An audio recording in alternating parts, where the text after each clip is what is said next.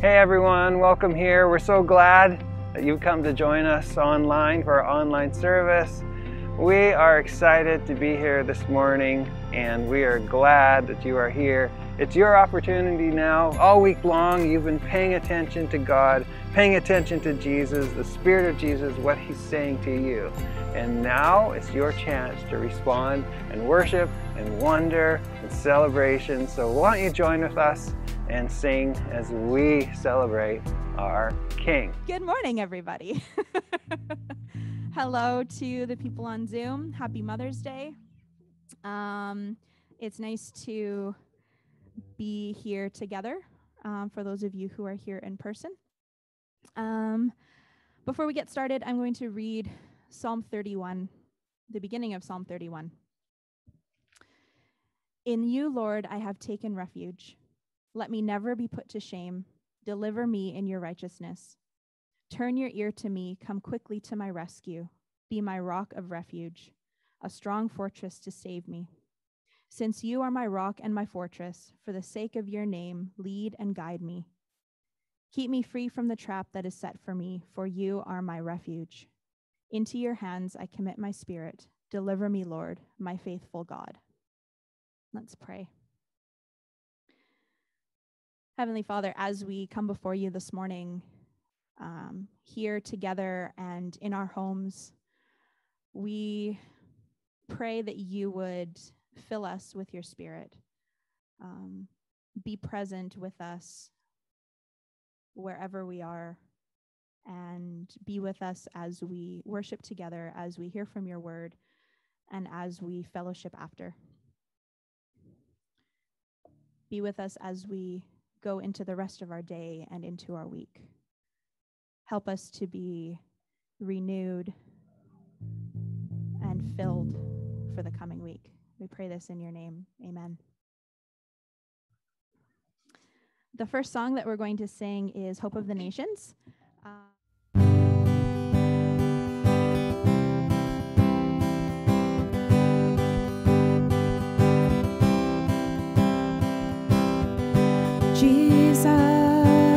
Of the nations.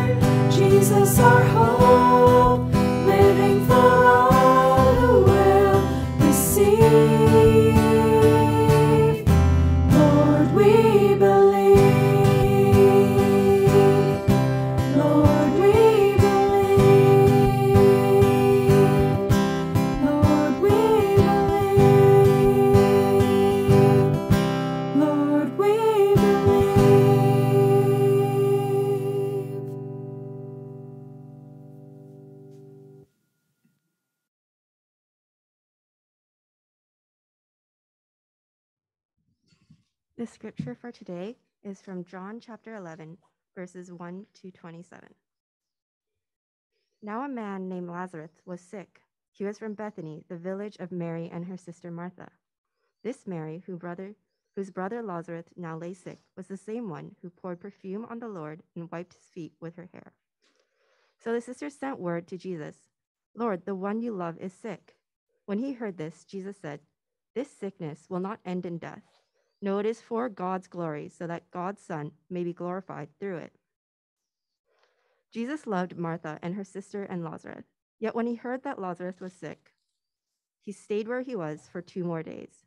Then he said to his disciples, Let us go back to Judea. But Rabbi, they said, a short while ago the Jews tried to stone you, and you and yet you are going back there? Jesus answered, Are there not twelve hours of daylight? A man who walks by day will not stumble, for he sees by this world's light.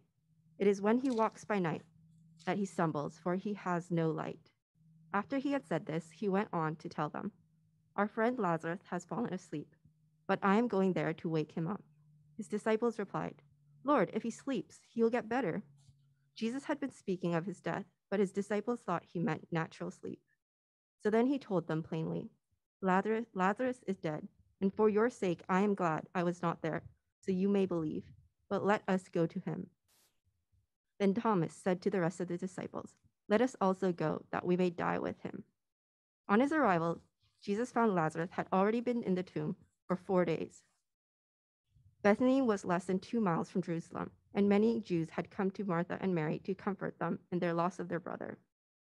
When Martha heard that Jesus was coming, she, said, she went out to him, but Mary stayed at home. Lord, Martha said to Jesus, if you had not been here, if you had been here, my brother would not have died. But I know that even now God will give you whatever you ask. Jesus said to her, Your brother will rise again. Martha answered, I know he will rise again in the resurrection at the last day. Jesus said to her, I am the resurrection and the life. He who believes in me will live even though he dies, and whoever lives and believes in me will never die. Do you believe this? Yes, Lord, she told him. I believe that you are the Christ, the Son of God who was to come into the world.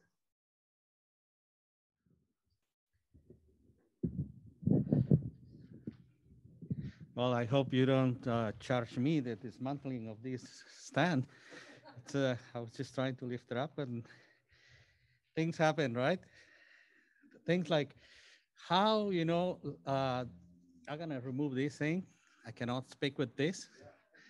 Uh, this pandemic has changed our way of living and doing things. Mother's Day was a very pre-pandemic was a very special day in the Spanish church on 52nd. First of all, in the morning, I will rush to the kitchen, prepare a breakfast for my wife, who's not my mother. but is the mother of our children. So uh, that will be, you know, but this morning it didn't happen because we needed to be here. So dinner is gonna happen. And we're gonna have, well, I hope the rest of the men at home will help me to cook, but we're gonna have something very interesting. If you uh, don't know, do you know what a diablo is? Diablo? El diablo, the, the devil. So literally, the recipe is camarones a la diabla. If you don't know what that is, it's shrimp a la diabla, which means at the devil, you know. So, but it has nothing to do with the devil. It's because it's quite spicy. So, you know, it's the spice of it. So this is, and then, you know, I will continue on with the day. And we men at the, the Spanish church will meet at two. We will have everything to, together to put up a very, you know, a banquet, I will say. It's not just a regular meal. And these ladies, all the mothers at the Spanish church and all the mothers are, are invited and the potential, you know, the prospect, prospective mothers uh, will come and we will serve them. I said, you're not allowed to get in the kitchen. You're not allowed to walk by the kitchen. You're not allowed to smell what we're cooking. So you're going to be served. You are the queens of the day. But literally, they're the queens of our everyday. So that will be the day, you know, for Mother's Day. But now it's the second year in a row that we can't do that. But we still, you know, have a way to, to honor the mothers and all of those who are, like I said, becoming mothers in the near future. So we just want to say thank you, Lord, for creating the mothers. And it's very, I, I said for me, it's a, an emotional day too, because it's a second year in a row that I cannot see my mother. And she lives not far away. She, you cross the border and she's like 12 minutes from the border, away 12, 12 minutes away from the border. But I just spoke to her and I said, well, enjoy your Mother's Day without me. And she said, well, that's not possible. I said, well, it's a, it's a treat, you know, you don't have me there, so I'm not bothering you. So yeah. And speaking of uh, Lego, you know, like what is it, the Lego scriptures or something like that? It inspired me to bring, you know, to the church the talking horse. I'll tell you the story of the talking horse in the next time uh, you invite me. But now we will pray for the word of God to be finding, you know, home in our hearts and our minds. Let's pray. Lord, we humbly come to you and ask that uh, through your Holy Spirit will guide us to the understanding and the application of your word. We pray, Lord, in the name of our Lord Jesus Christ. Amen. The passage was read, very clear passage, but there, there we will find some of those questions that are difficult to answer. Um, this happens and is in the context of a death, the death of a very good friend of Jesus. And this friend had two sisters. Lazarus had uh, two sisters, Mary and Martha. And they lived not far away from Jerusalem, only about two miles away. And, and then you will think, you know, what was Jesus doing, you know, two miles away? Well, he was fleeing. He was uh, trying to be away from the jurisdiction of the, the, the, high priest and the Pharisees and the Sanhedrin, which through the scriptures you see that they were trying to kill him before the time.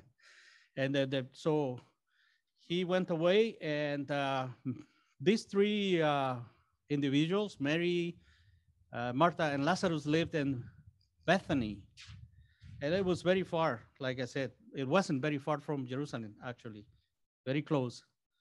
And a, a very imp- important fact to remember is what the scripture says about Mary. This Mary is the very same Mary that one day she poured all this expensive perfume on Jesus. And not that wasn't enough, you know, an act of love and care and anointing, I mean, anointment of, you know, it's, it's a sign of what Jesus was going to go through in the at the cross. And she, you know, grabbed for her long hair, I would assume, because if she's like some of the ladies with uh, short hair wouldn't happen, right? And she will wipe Jesus's feet with this, with her hair. Something very, man, it's amazing, you know, just to imagine this woman, you know, pouring this perfume and then wiping Jesus's with her hair. Amazing. Only love can do that and care. And then that's what the scripture says. The sisters uh, were, you know, good friends to Jesus. That's what the scripture says. And the, actually, in John, this is the first time we find these uh, three uh, sisters. uh, I mean, two brothers and sisters, and these individuals in uh, John chapter 11. And something happened. The, the scripture doesn't tell doesn't tell us what was uh, Lazarus' uh, illness. It only says that he got ill, he got sick, and of course, probably was a very serious illness. So these two sisters says, "Well, our friend Jesus, the miracle maker, is not far away from here. Let's send him a message." And we are quite sure that when he hears this about his beloved friend, he will not, you know, think twice. He will rush down here and, you know, help us. So they, you know, sent a messenger. And uh, the message is very clear Lord, the one you love is sick. Uh, probably there is more to it, right? Probably they said it's very serious. Lord, this guy is gonna die if you don't come down and you, you know, touch him and or just declare the words, you know, like that. Remember that centurion that says, just say the words and we believe. Uh, But they said, it's up to you, Lord. You know, what the one you love is sick, is dying. What do you do when you get that kind of news? What what do you do when you get a you know a message saying your relative, your mother, your father, your son, your friend, your cousin, your uncle. But here is your dear, your beloved friend is sick. What do you do when you get that kind of news? Do you do something? Or do you, you I mean, there are many people that will say, oh, poor, you know, poor Peter, you know, poor John, and do nothing. What do you do? Well, Jesus didn't do much at the, at the moment, right? Jesus replied, and he says, Oh, this sickness will not end in death. Will not end in death. Disciples didn't understand. They, you know, Jesus said he's gonna go into a good nap. He's Lazarus is gonna take a long, long, you know, an overtime nap. Disciples didn't understand. I mean, during those days, uh, sleeping was an analogy of death. But the disciples didn't catch it, right? Jesus said, "Hey, This is, is not the, the end result of this illness is not going to be death. No, it is for God's glory so that God's Son may be glorified through it. I, I wonder, you know, how many of the people who were with Jesus understood that. The whole question of why did Jesus, you know, why didn't Jesus run? I mean, rush to assist his beloved friend. It gets answered before the question is asked, right? Because Jesus said that this event, this happening, this illness of Lazarus was going to be for him, the Son of God, to be glorified. That shows us that God knows our needs before we declare them to him before we you know even ask the lord for something he knows. He knows what you are going through. He knows what i am going through. He knows your anxiety. He knows your fears. The lord knows. But sometimes he doesn't do anything at the blink of an eye Sometimes we are so desperate that we want the, the Lord to answer to our needs right away.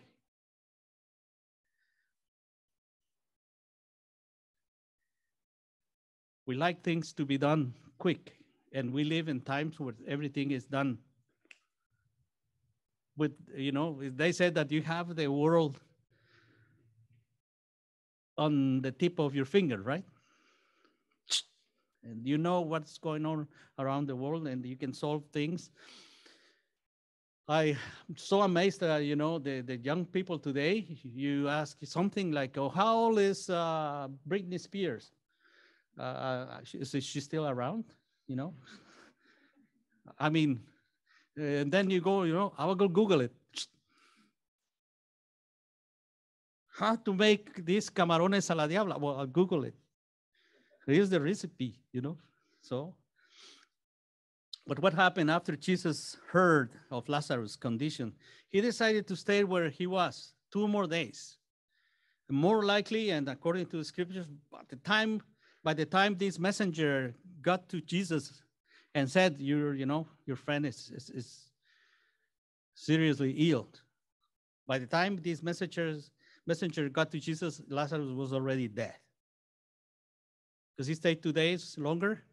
And then he goes back to Bethany and he finds out that his friend is gone. But then, you know, we see that there was a risk. You know, they said Jesus, um, see, disciples, they said, Jesus, remember, not long ago, these guys were trying to stone you, they were trying to kill you. And now you are saying that we are going down there. What, what are you thinking about? You know, there was some risk. And then we, Thomas is famous, you know, for not believing, right? The one who says, if I don't see the wounds on the Lord's, you know, hands and I spoke, I put my finger through it, I will not believe that he has risen from the dead. But here, he's pessimistic. He said, oh, okay, you, you know, they were trying to kill him. Now that we're going down there, let's all go together and we all die. Pessimism, right? They didn't kind of know, they didn't kind of grasp who were they following, you know? Still, you know, it's, it's very interesting. So Jesus says, no, we're going down. You want to stay here? You stay here, but, yeah, but we're going down. So they all go down to Bethany and he finds out that, I mean, the Lazarus is already dead. And then if you keep reading to the end of the chapter, it says it's already four days, right? And it smells. It's already, you know, this, this smell of death. Have you ever smelled something like that? I did. I, I did. You know, I did uh, more than once. You know, got to a rotten body, you know, or corpse. I mean, so they got down there and they said, it's already four days. What are, what is gonna happen here? So Martha, you know, she rushes out and she goes and runs to Jesus and he confronted him, right? He says, Lord, if you wouldn't been here, my brother will still be alive.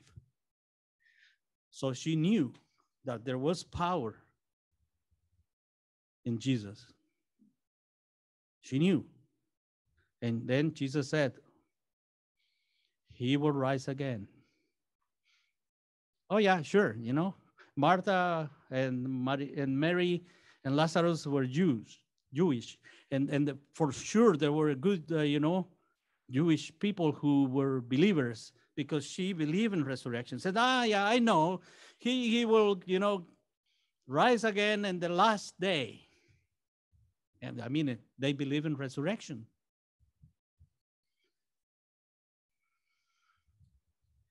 And Martha shows what we sometimes do show. Martha shows some ambivalent faith, you know. She knew God will give Jesus whatever Jesus asked the Father. What she didn't know at the moment was that Jesus is God manifested in flesh. She knew she, she there is some kind of power in this guy, you know, he's our good friend. And so that's why we send and call him to do something, but now it's too late because my brother is dead. And Jesus said, He will raise, I mean, he, your, your brother will rise again. Why did Jesus say that to Martha? Jesus said that to Martha to elevate Martha's faith to a new level. It is to help her step by step in her suffering and to guide her to faith in Him, to finally believe that He was who He said He was, that He was the Messiah, the Son of God. They, you know, time after time, they saw Jesus um, performing miracles. And I do believe that they heard Jesus, they saw Jesus, and they said, well, he can do some, something for Lazarus. You know, Jesus, our Lord and Savior, Jesus Christ, will always do to us what he did to Martha. He will always help us through our difficult times, always. No doubt about it. I've been waiting for, a, I mean, for over a year for a surgery on my arm. And there have been times where I've been so desperate, you know, doing a simple thing with my right arm. And I said, oh man, this arm, I'm to cut it. I'm to chop it off. And then I realized, well, no, I'm better still with a very weak, weak arm than without an arm. But that's how we uh, react when we get desperate, right? Jesus will always do to us what he did to Martha. He will always help us through our difficult times. He will always walk side by side in the midst of our ambivalent faith. We doubt, sometimes we doubt, and that's okay. But if our faith is anchored in Jesus Christ, we have it in a solid place. Our doubts, you know, our doubts will be resolved. And sometimes they get resolved in this way. We don't understand how God does things. We don't know how God does, you know, like how God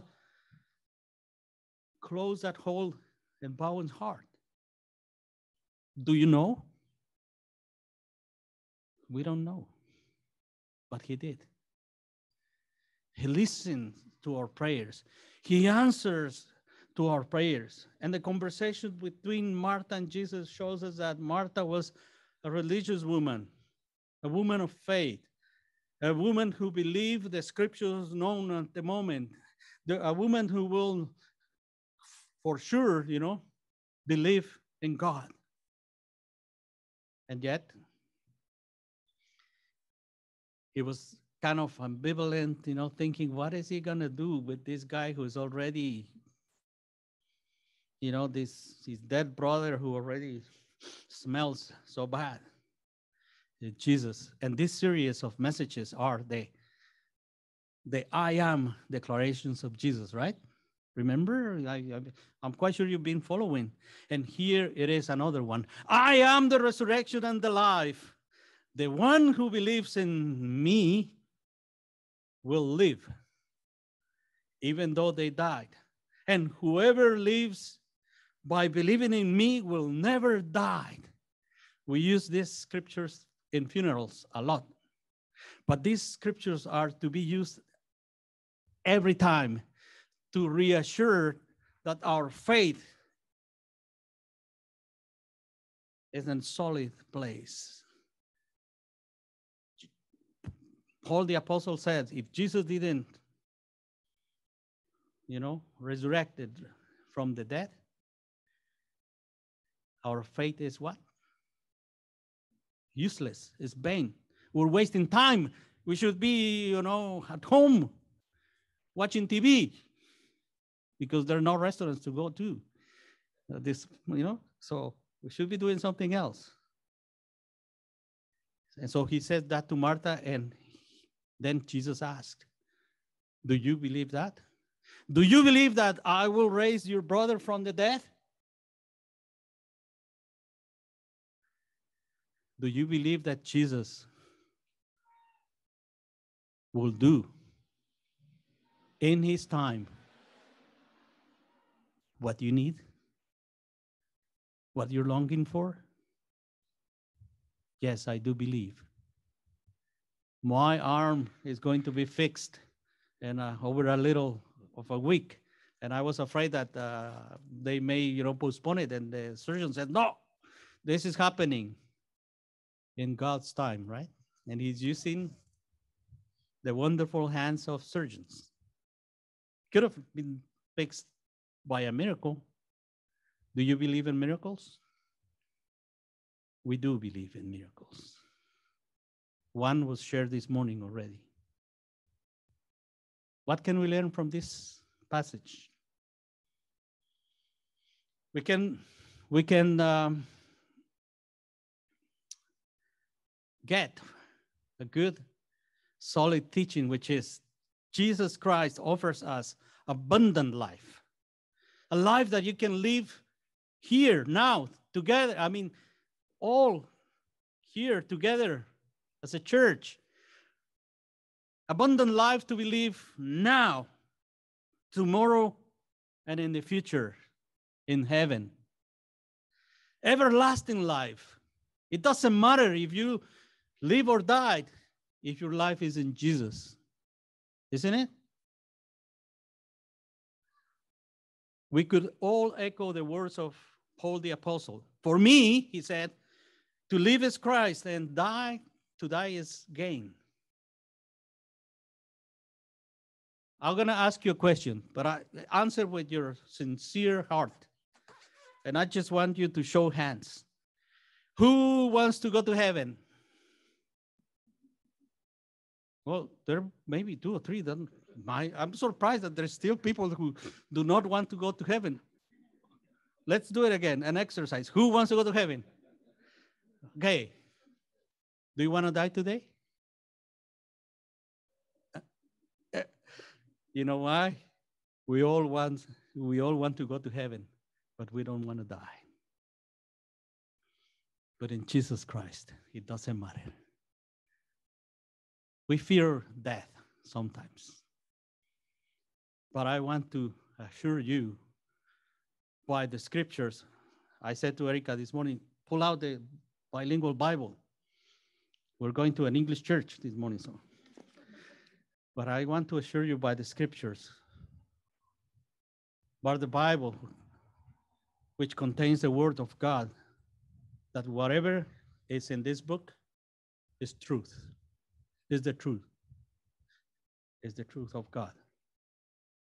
And I would like to finish by leaving you with the words of that very famous Apostle Paul.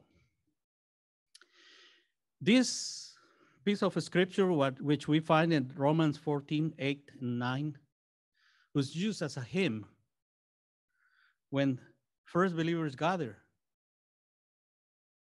And it's just a few words. Powerful words. They used to sing it every time we'll God, they will gather, almost every day. And it says, Romans 14, 8 9. If we live, we live for the Lord. So whether we live or die, we belong to the Lord.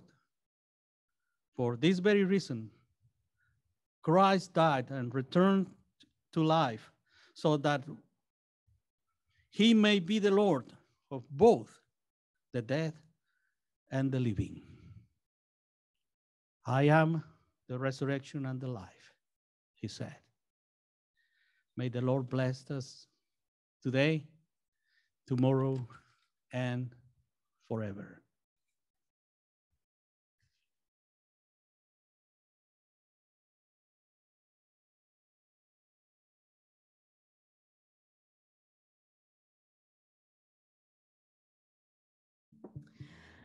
I just thought I would quickly share. Um,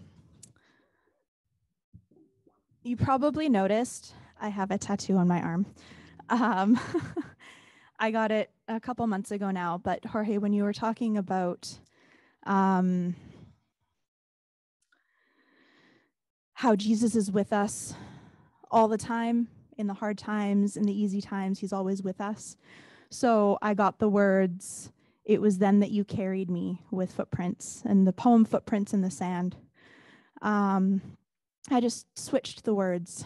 Um, instead of it being Jesus speaking to the man in the dream, saying it was then that I carried you, it's a reminder for myself that Jesus is with us all the time. He's with me all the time.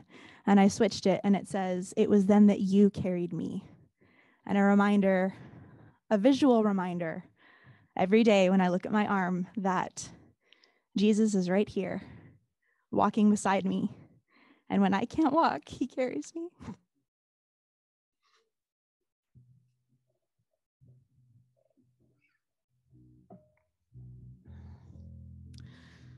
And he's with us all the time, whether we're thinking about it, whether remember where whether we remember it or not, He's there.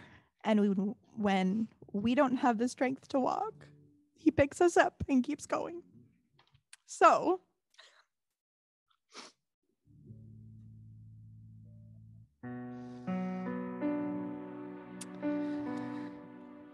I'm going to repeat um, the words of Jesus from, from John 11 from the passage today. He says, I am the resurrection and the life.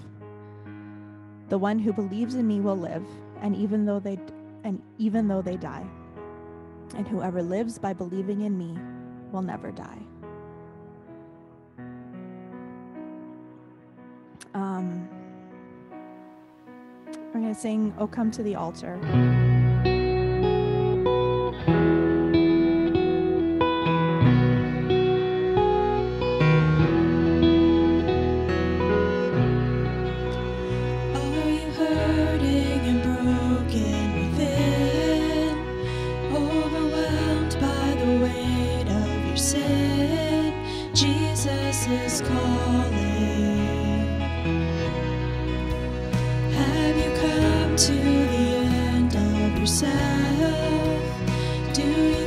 Thirst for a drink from the well? Jesus is calling. Oh, come to the altar. The Father's arms are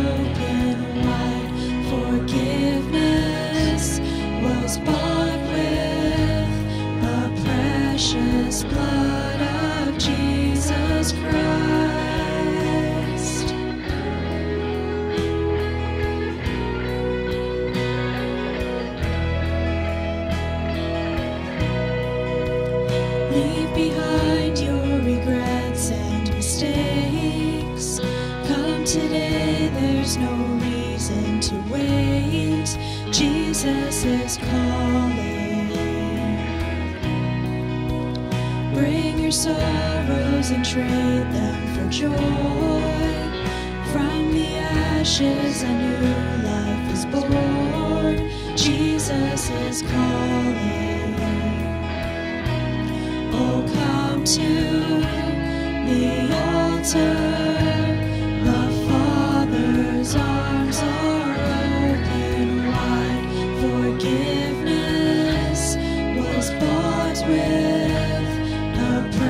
Precious blood of Jesus Christ.